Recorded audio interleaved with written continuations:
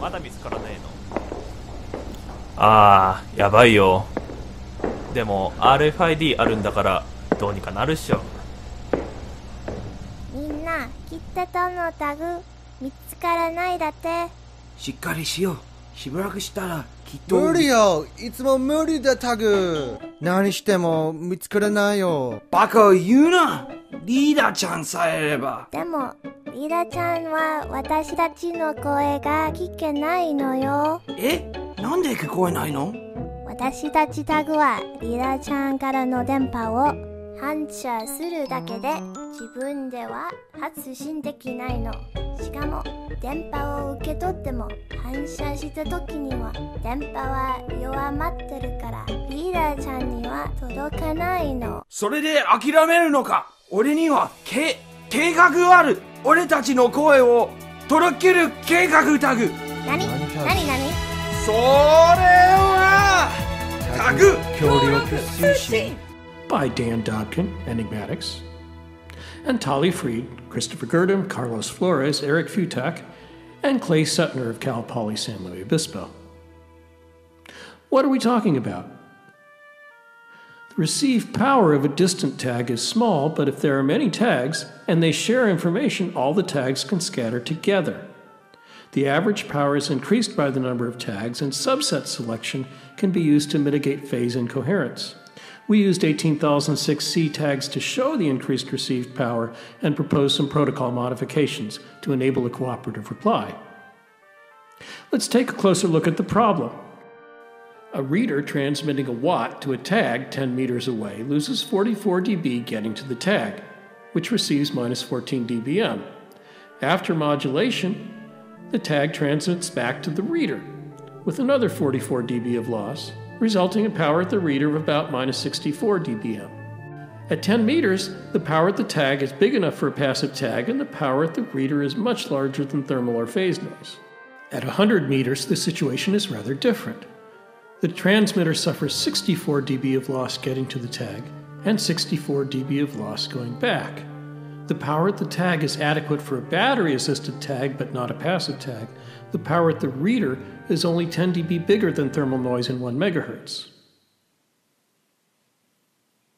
The proposed solution to this problem is to assume that there are many tagged items in one area. If some of the information in those tags is shared, such as pre programmed values like the model number or the results of a short range communication exchange, then all the tags can scatter a common message. That is, if we have a reader and a transmit receive antenna illuminating a population of tags, all the tags scatter the same message, and if we're lucky, backscatter from some of the tags adds in phase of the reader. If the tags are located randomly over a region large compared to the wavelength, then the backscattered phase will be randomly distributed. Backscattered amplitudes are about equal, so the backscattered amplitude of everything will be Rayleigh distributed, and the power chi squared as n goes to infinity.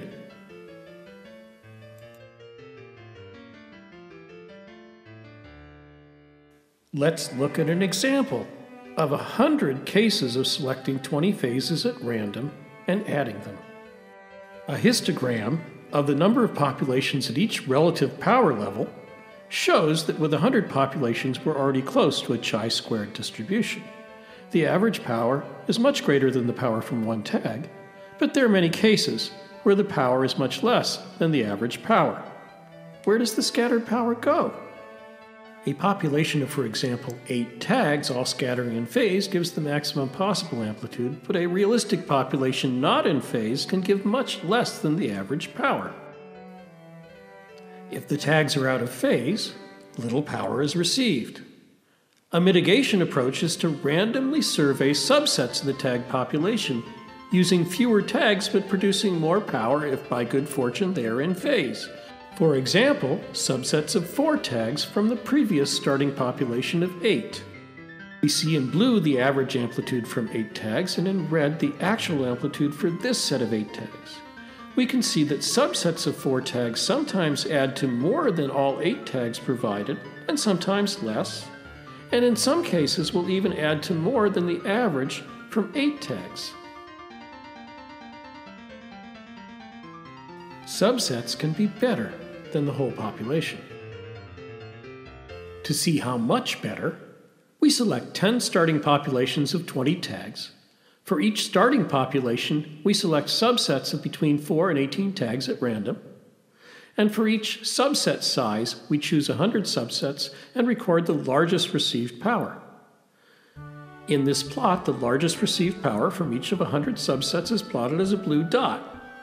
We see that for all subsets except the very small and very large ones, we always exceed the average power from 20 tags.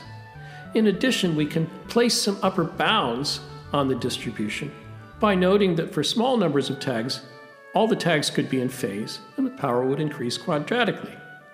For a moderate number of tags, we are limited by the chi-squared distribution. And when only a few tags are removed from the starting set, we can only increase quadratically from whatever the power was of the initial set.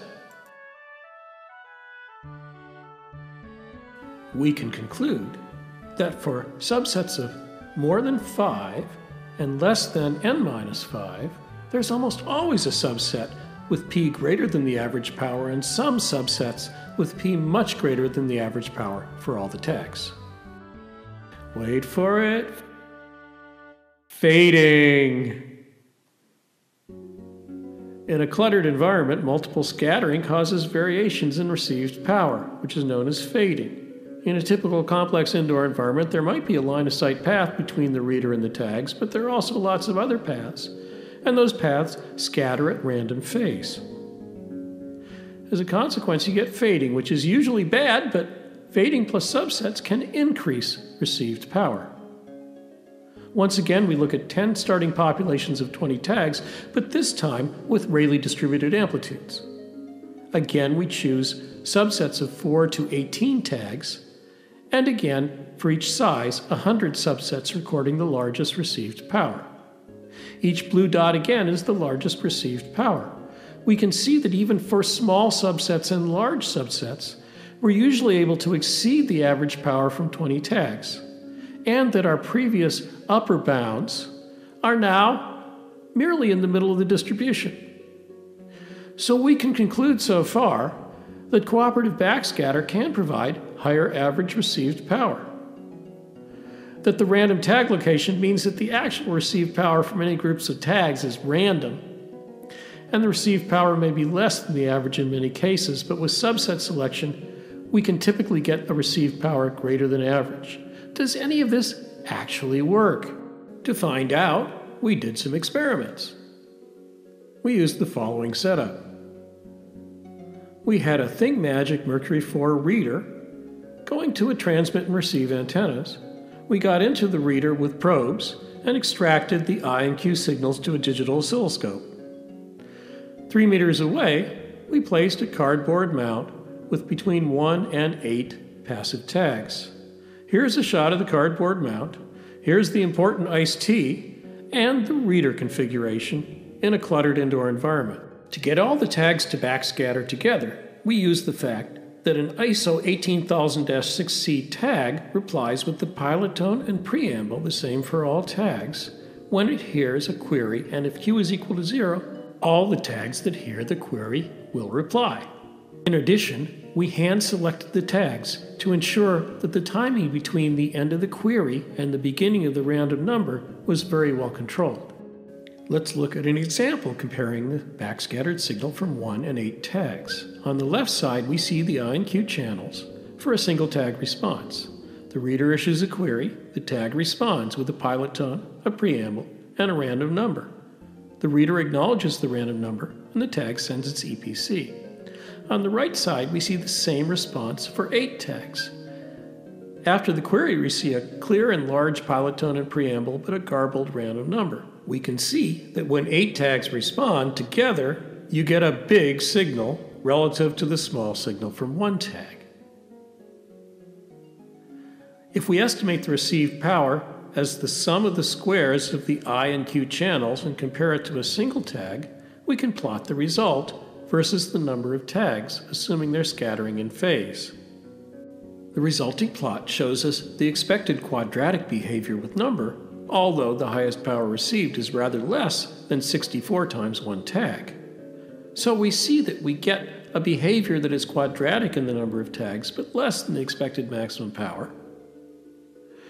Since the corresponding positional error is only about 5 centimeters, we can infer that the piece of cardboard we mounted the tags on isn't quite flat. If we go back and look at the cardboard again, we can guess it's probably not that flat.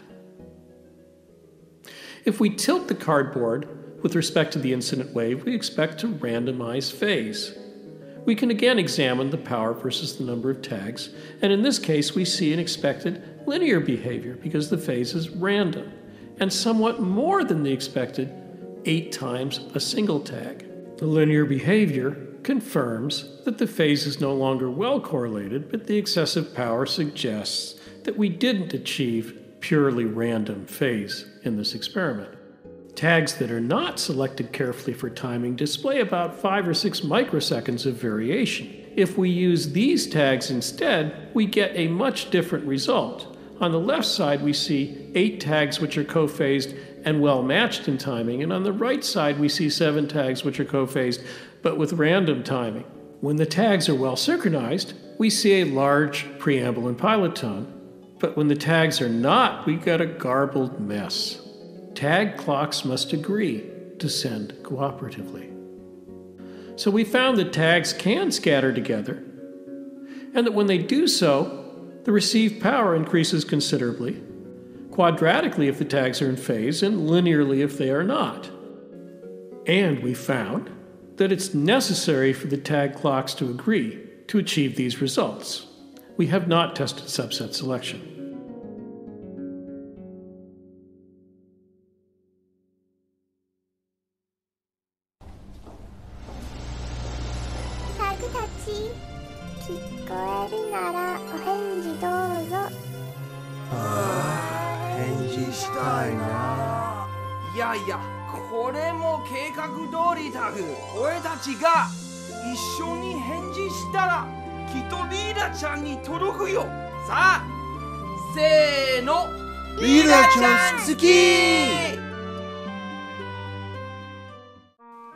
So, the first challenge, if you're going to send cooperatively, is what to send. The tags must have shared information. The shared information could be pre programmed, which is simple to implement, but cannot send a unique ID. Or the shared information could be obtained from short range communications. This means that the tags must have energy available when the reader is not transmitting, and one has to decide what protocol to use. Let's look at how one might use ISO 18000 6C tags to send shared information cooperatively. EPC tags already have shared information. If they didn't, there would be no select command, or at least it wouldn't be useful. An example of an EPC is shown here.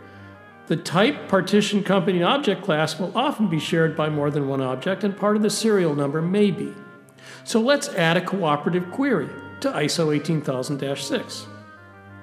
We'll start with the query cbat command because it's battery assisted tags that we'll need to send cooperatively. The beginning of the query cbat command is the same as a query bat command, and the end is like an access command, and then we've added a query ID. Activation and select come from the existing battery assisted protocol. The query cbat specifies shared data that is to be backscattered by all the tags that hear the command. We use the access format, but we don't need a handle because all the tags are going to send at once. And we'll use a modified acknowledgement that includes the query ID. Let's take a look at how this might work. Imagine we have a reader and a population of tags. The reader reader's issued a query but has heard no responses because of reverse link limitations. The reader may choose some cooperative inventory parameters and perhaps issue a new select command. After it does so, it may issue a query cbat. All the tags that are active and hear the command reply, and if we're lucky, we will see the reply and be able to acknowledge it. After that, we might also have optional additional access commands. If a cooperative reply with all the tags didn't work, we can try surveying subsets. For this, we need a few new commands get C sub rn, new C sub, sub ACK, and the acknowledgement we had before. Get C sub rn causes tags to select a random number and choose subsets in the future based on that random number. New C sub is like query rep. Tags increment their subset counter, and the tags that are active in this subset scatter a reply containing the query ID. Subac C says the subset reply was heard, and then tags can backscatter based on the previous query C bat, and then the acknowledgement says that we finally heard the reply. Let's again see how this might work. Imagine we have a reader which has issued a cooperative query but received no reply. It chooses subset parameters and issues a get C sub rn, and then a new C sub.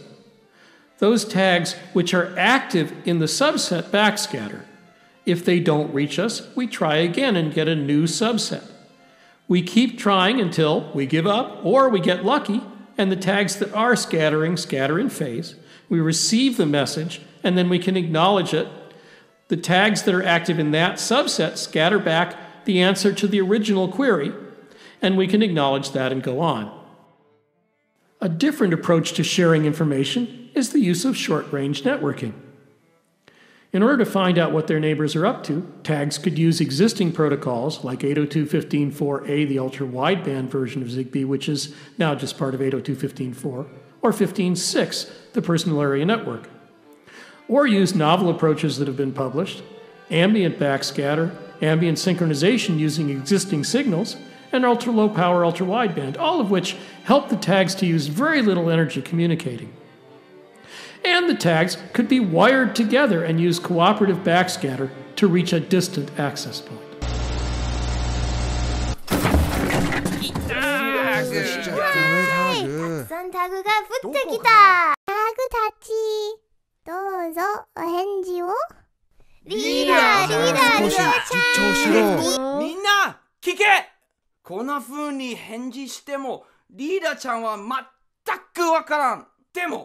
一緒に同じことを言ったらきっと聞いてもらえるタグ。